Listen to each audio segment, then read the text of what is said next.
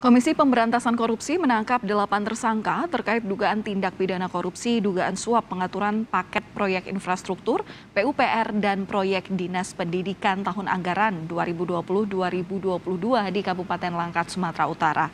Pasca OTT, KPK pada Kamis dini hari membawa delapan tersangka dan pihak yang ditangkap adalah TRP yang merupakan Bupati Langkat periode 2019-2024 SJ yang merupakan PLT Kadis PUPR Kabupaten Langkat, kemudian BP Kepala Dinas Bina Marga Kabupaten Langkat dan SH Kabak Pengadaan Barang dan Jasa serta MSA, SC, MR dan IS yang merupakan semuanya adalah kontraktor. TRP Bupati Langkat diduga menerima suap terkait pengaturan paket proyek infrastruktur Kabupaten Langkat dan proyek Dinas Pendidikan tahun anggaran 2020-2022 senilai 786 juta rupiah. Selanjutnya KPK meningkatkan status perkara ini ke tahap penyidikan.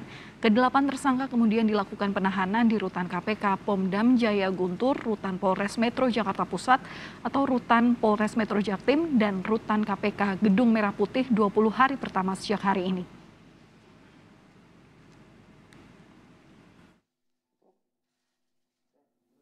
KPK telah melakukan kegiatan tangkap tangan atas dugaan tindak pidana korupsi berupa penerimaan hadiah atau janji oleh penyelenggara negara atau yang mewakilinya terkait dengan kegiatan pekerjaan pengadaan barang dan jasa dari tahun anggaran 2020 sampai dengan 2020 22 di Kabupaten Langkat, Sumatera Utara.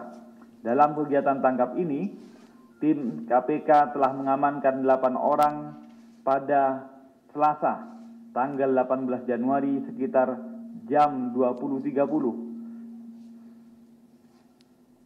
di wilayah Kabupaten Langkat, Sumatera Utara. Pihak-pihak yang diamankan pertama, saudara TRP Bupati Kabupaten Langkat periode 2019-2024. Kedua, Saudara SJ, PLT Kadis PUPR Kabupaten Langkat. Ketiga, Saudara DT, Kabit Bina Marga Dinas PUPR Kabupaten Langkat. Keempat, Saudara SH, Kepala Bagian Pengadaan Barang dan Jasa.